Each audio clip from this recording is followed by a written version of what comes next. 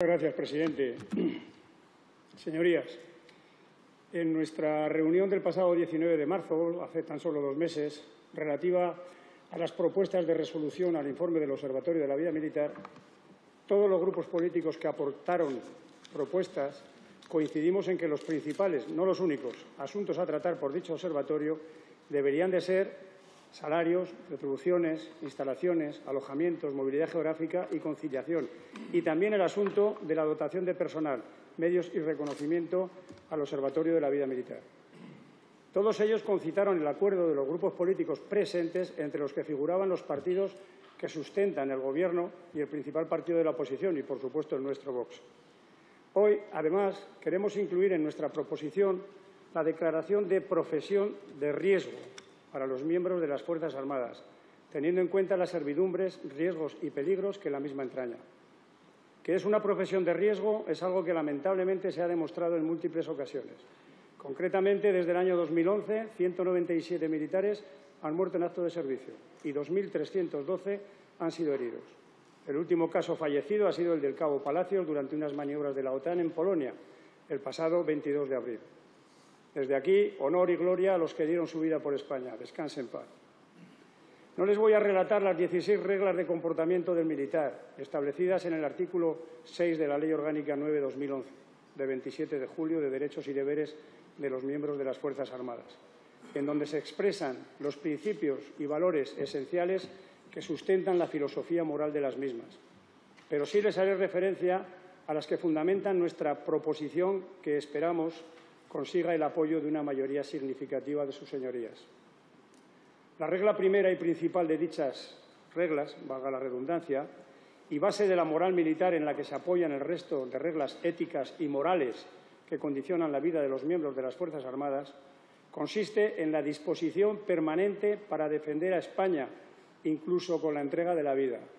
Entrega de la vida que el militar ha de hallarse resuelto a arriesgar, afrontando el peligro y superando el miedo, en pro de la seguridad de sus conciudadanos y de los intereses de la sociedad a la que sirve, con una actitud ética de aceptación de la muerte.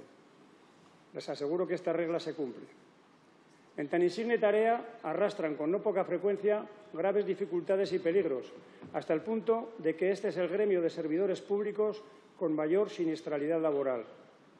A ello hay que sumar las difíciles condiciones en que desempeñan su actividad, en el marco de una constante disciplina, como reza la regla octava, y obediencia, y teniendo una disponibilidad permanente para el servicio, como lo exige el artículo 22.1 de la Ley Orgánica antes citada. Se les exige, además, estar preparados para afrontar con valor, abnegación y espíritu de servicio situaciones de combate y los escenarios de crisis, conflicto o guerra. La regla cuarta. Así como preservar la seguridad y bienestar de los ciudadanos en supuestos de grave, de grave riesgo, catástrofe, etcétera. En este punto quiero que piensen que la UME es una unidad especializada para estos cometidos, pero es también canalizadora de los esfuerzos del resto de unidades de los ejércitos de tierra, mar y aire en caso necesario.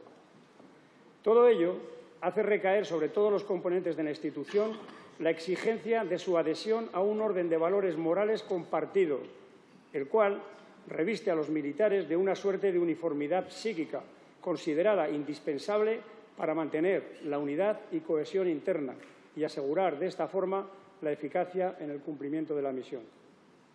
Por todo lo anterior, resultaría difícil de entender que hoy no se votase favorablemente esta proposición no de ley, aunque en caso contrario podría ser un cambio de opinión al que ya nos tiene acostumbrados este Gobierno.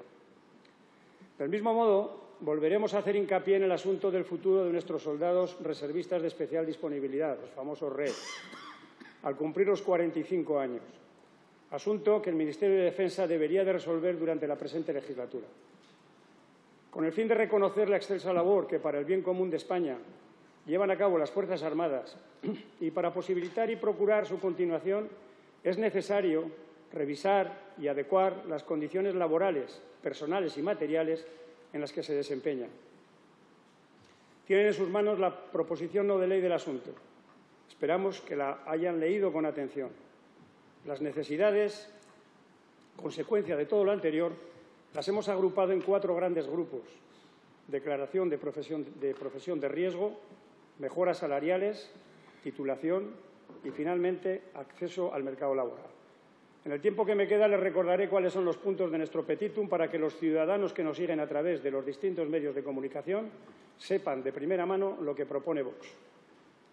Instamos al Gobierno a garantizar la efectividad de las medidas contenidas en la Ley 8-2006 para la mejora de las condiciones del ejercicio de la profesión en las Fuerzas Armadas. Instamos a reconocer la profesión y servicio en las Fuerzas Armadas como profesión de riesgo. Instamos a proceder a la equiparación salarial entre el personal de las Fuerzas Armadas y el del resto de las fuerzas y cuerpos de seguridad.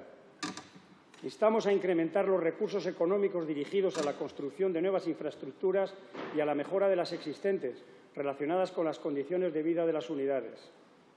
Les instamos también a emprender los estudios pertinentes para desarrollar y regular un modelo único de relación de servicios para todos los militares profesionales, incluidos los pertenecientes a las escalas de tropa y marinería.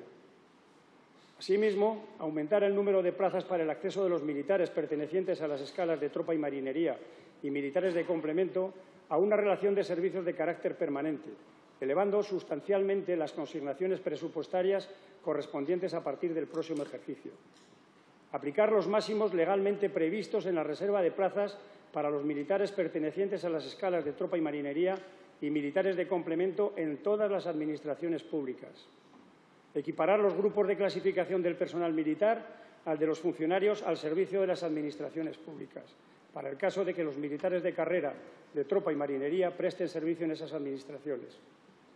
Finalmente, y para no pasarme del tiempo, porque la proposición no de ley contempla un punto más sobre el plan de homologación y declaración de equivalencia y convalidación de estudios, finalmente digo, adoptar las medidas oportunas para garantizar el apoyo social y familiar que precisan y merecen los miembros de las Fuerzas Armadas y sus familias, con especial atención a las necesidades de vivienda, de educación de los hijos y conciliación derivadas de la movilidad geográfica de los militares en el ejercicio de su profesión. He concluido. Muchas gracias, presidente.